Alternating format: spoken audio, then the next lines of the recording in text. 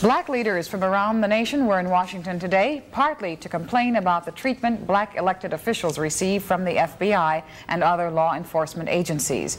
Eyewitness News correspondent Bruce Johnson reports. Allegations aimed at black elected officials was the major concern of many blacks who gathered in Washington this week for the Democratic National Committee meetings. I was removed as Secretary of State just at the time that I was going to be named national president of all the secretaries of state.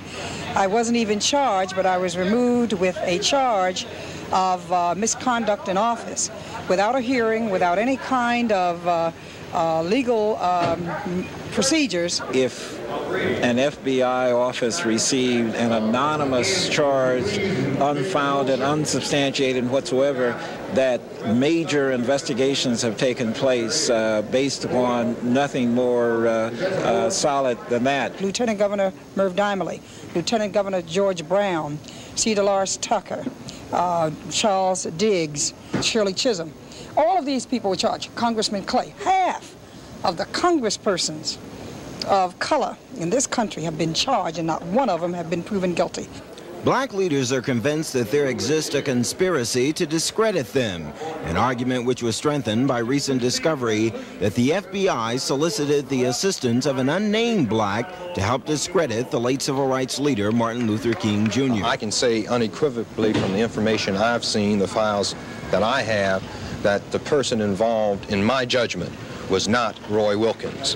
Who was the person? Uh, I don't know who the person was, but in my judgment, it clearly was not Roy Wilkins. It was the FBI Martin Luther King incident that prompted Prichard, Alabama Mayor A.J. Cooper to come to Washington today for a special meeting with FBI Director William Webster.